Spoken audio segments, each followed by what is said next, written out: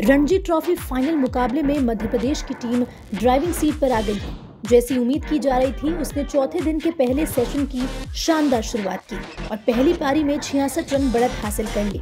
रजत पाटीदार ने first class cricket career का आठवां शतक पूरा किया, जबकि कप्तान आदित्य श्रीवास्तव 25 रन, अक्षंत रघुवंशी 9 और पार्थ सहानी 11 के निजी स्कोर पर आउट हुए। तीसरे दिन शुभम शर्मा और यश दुबे ने शतक जमाए थे।